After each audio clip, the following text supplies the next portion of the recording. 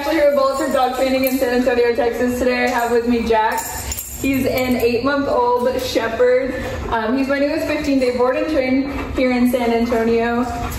He comes to us with a lot of common puppy problems, as you can see, leash pulling, leash biting, jumping, all of that. Um, his parents brought him here because they want him to learn some manners um, and be able, they want to be able to take him on walks without him dragging them. Let's see what kind of training he's had before. Jax, can you sit? Sit. He's more interested in this leash than he is in me. Jax, can you come? Come. I don't think you're actually coming. I think you just want the leash. Can you down? Let's see. Down. Down. Down. No down. That's okay. Let's see if we can go for a walk. Okay, come on. Let's go for a walk. Come on, let's go. Come on, where are you going? no, we're going this way. We're going this way. Good. Definitely doesn't know how to walk, but that's okay. Um, we'll work on that while he's here with us for those 15 days. So make sure you stay tuned for his progress as well as all the other pups we have here with us right now on all of our social media.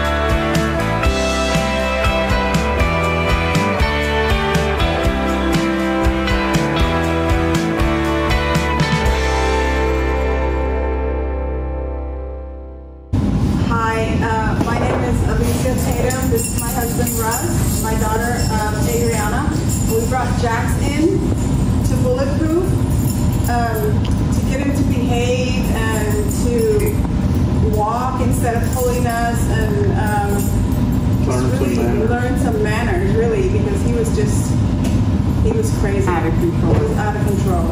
He's like a spoiled little kid in our house because we're older, and so he pretty much runs the house. So that's why we brought him here. And the transformation is really unbelievable of what he can do now to what he just refused to do before.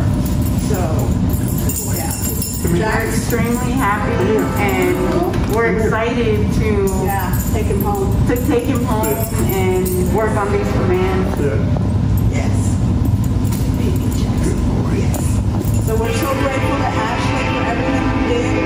Bulletproof Training. Bullet Creek Training. Thank you. Yes, thank you for being so for showing him so much love. Yeah.